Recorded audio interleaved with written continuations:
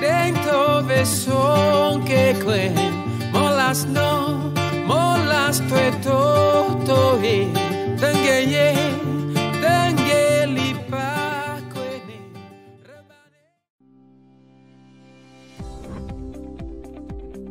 Dari generasi ke generasi kami berusaha menjaga warisan karya seni adiluhung Tenunan Manggarai Timur.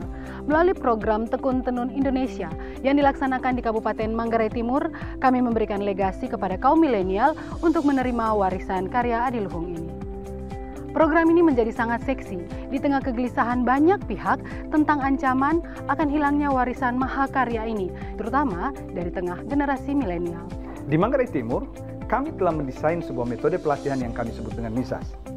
Mindset, Soul, Art, and Skill. Kami percaya betul bahwa ketika Anda melatih seseorang untuk menenun, Anda tidak hanya sekedar mentransfer skill, tapi jauh lebih penting dari itu, Anda mentransfer nilai. Itulah yang kami lakukan di kelas hebat ini.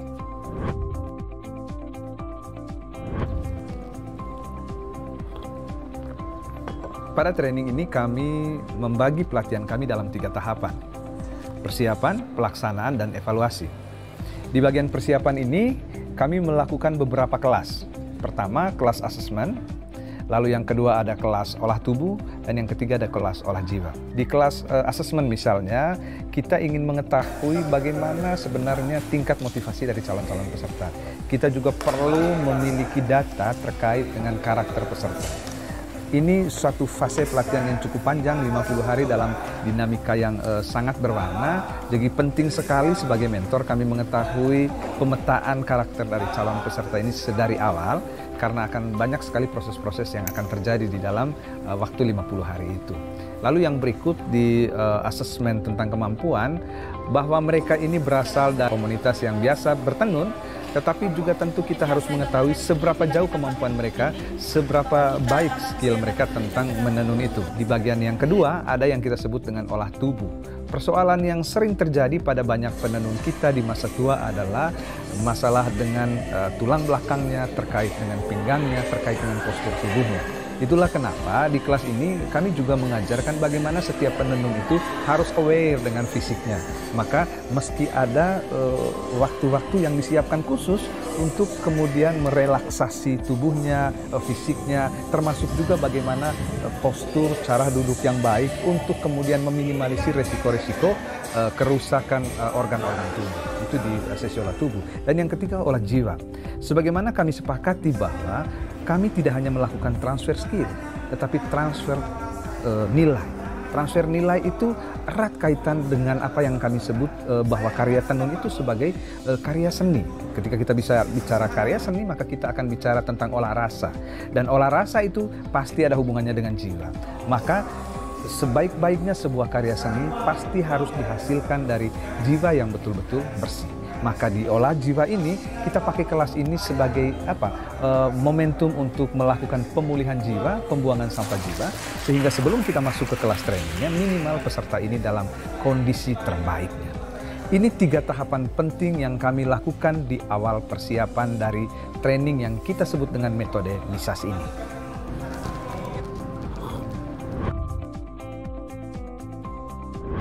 Selamat pagi sahabat tenun milenial. Kami membuka kelas kami hari ini dengan suasana yang sangat menyenangkan. Sebelum kita memulai kelas kita, kami ingin memperkenalkan dulu beberapa alat yang dipakai dalam proses menenun. Sisir, Keropong dan kelirik, bira, voer, helung,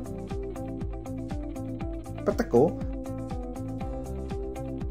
pesa, liu atau lihu, leka, sangku, tampang. Proses berikutnya adalah proses pembenangan. Peserta diperkenalkan dengan tanaman yang ada di sekitar lingkungan yang memiliki daya pewarnaan, seperti tanaman mengkudu, kunyit, bunga talam, mahoni, dan bela kaweng. Khusus untuk bela kaweng, selain bunganya yang cantik, daunnya dipercaya dapat menetralisir racun dari pewarna kimia. Selain itu, daunnya juga mengandung efek pelembut bagi benang. Peserta juga diingatkan bagaimana adab atau etika budaya ketika kita mengambil tanaman untuk bahan pencampur benang. Pada sesi berikutnya, peserta masuk dalam kelas pencucian benang, pewarnaan, pelembutan, sampai penjemuran. Pada materi ini penekanannya pada pemahaman peserta tentang komposisi bahan, urutan perlakuan dan teknik penjemuran, baik penjemuran bagi benang pabrikan maupun penjemuran bagi benang yang diwarnai secara alami.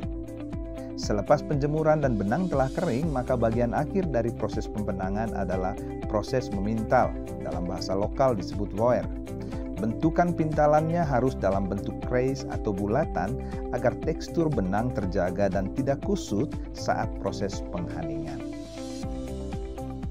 Proses menghaning atau penghaningan adalah proses membentangkan benang lusing atau benang vertikal ke dalam dua alat tenun utama yaitu sisir dan benang hun.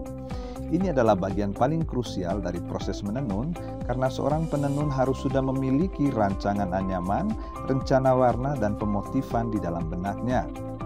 Kelas kami mulai dengan penjelasan bagaimana melakukan treatment pada sisir sebelum digunakan. Karena tingkat kerapatan, jumlah gigi, kelenturan, dan kerapian sebuah sisir akan sangat mempengaruhi hasil sebuah tenunan. Proses menghaning dilakukan oleh minimal dua orang, yakni satu orang untuk mencocokkan benang di antara gigi sisir dan satu lagi untuk memasukkannya di antara benang hun sebagai pengontrol. Proses ini berlangsung paling cepat sehari penuh tergantung dengan lebar tenunan yang direncanakan. Pada kelas ini kami menggunakan lebar kain sepanjang 80 cm dengan menggunakan benang sutra ukuran 40 per 2. Proses selanjutnya adalah proses peregangan dan perapian akhir sebelum akhirnya benang lusi dilipat atau digulung pada papan tenunan utama. Selanjutnya proses menenun sudah bisa kita lakukan. Kain tenun adalah kain yang dibentuk dengan teknik menganyam benang lusi dan benang pakan. Benang lusi adalah benang searah panjang kain, sedangkan benang pakan adalah benang searah lebar kain. Persilangan ini menghasilkan beragam jenis anyaman yang dapat dikombinasikan dengan variasi warna benang. Tenunan Manggarai Timur memadukan dua pola, yaitu pola anyaman dan sulaman. Pada tenunan congkar kami menggunakan pola anyaman, sedangkan pada songkejo, kelambah leda, dan rembong kami menggunakan teknik sulaman. Ada empat hal penting yang kami jelaskan di dalam kelas ini. Yang pertama terkait teknik hentakan atau pukulan dengan pola 112 atau pola 221 saat menggunakan bira. Hentakan yang baik akan berdampak pada kerapatan tenunan. Hal kedua yang kami ajarkan terkait dengan postur atau gestur posisi duduk seorang penenun akan sangat berpengaruh terhadap kualitas kain dihasilkan dan tentu pada daya tahan fisik seorang penenun. Yang ketiga, terkait komposisi dan pola warna. Kami mengajarkan hal-hal terkait pola bagan sebuah tenunan. Bisa dipilih polanya berupa simetris, vertikal, horizontal, atau penggabungan dari beberapa pola tersebut. Peserta juga belajar tentang komposisi warna dan desain bentuk. Hal terakhir yang kami ajarkan di kelas ini terkait dengan pemotifan. Ada beberapa motif yang dilatih dalam kelas ini yaitu motif congkar, motif rembong, dan songkejok lambaleda. Khusus untuk motif jok lambaleda dimulai dengan pemotifan paling dasar yaitu jok. Sedangkan untuk motif diajarkan motif dengan pola 122 yaitu satu ikatan dua kali merajut pada benang lusi dan dua kali menarik benang pakan. Ini bisa diaplikasikan untuk motif libo, untuk motif mata manuk, dan motif belarunus.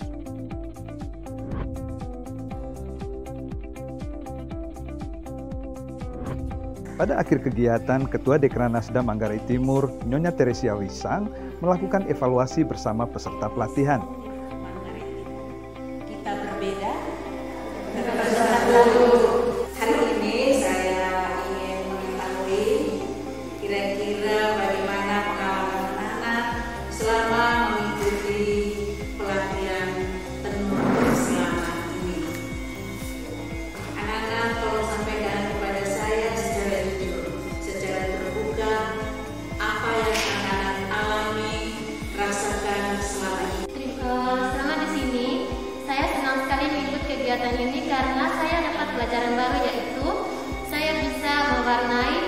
senang dengan pewarnaan